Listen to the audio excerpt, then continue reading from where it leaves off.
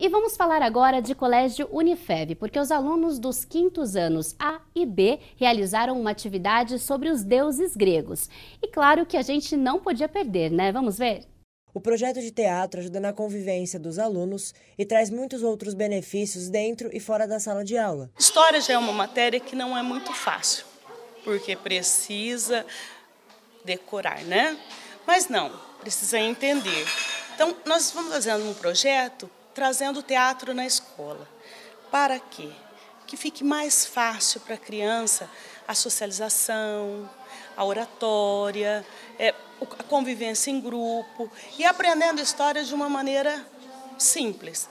Hoje na aula a gente está fazendo um teatro sobre, sobre os povos egípcios, o julgamento do morto. E qual que é o seu personagem? Eu sou a Isis, a deusa da maternidade. Eu tenho uma cabeça de uma avestruz e tipo uma faixa aqui e uma saia. Esse projeto foi apresentado pela professora Andréa, mas foi todo desenvolvido pelos próprios alunos das duas turmas. Eles apresentaram uma cena de teatro sobre o tema, representaram muito bem os seus personagens e, é claro, estão com as falas na ponta da língua.